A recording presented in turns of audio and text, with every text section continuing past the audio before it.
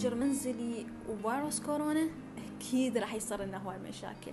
لهذا السبب أنا قررت أستخدم واحدة من المهارات الحياتية اللي تعلمتها سابقا واللي هي مهارة التواصل الفعال واللي من خلالها قدرت أتواصل مع أقران الشباب بشكل أفضل وأسمع لهم وأستمع لهم أيضا. وقدرنا إحنا كلنا سوية نخلق مساحة آمنة وبيئة صديقة لنا من خلال الحوار الجيد والتواصل الفعال. وأنتم شنو اللي تعلمتوه بهذه الفترة؟ وشلون قدرتوا تستخدمون هذه المهارات الجديدة في ظل الأوضاع الحالية؟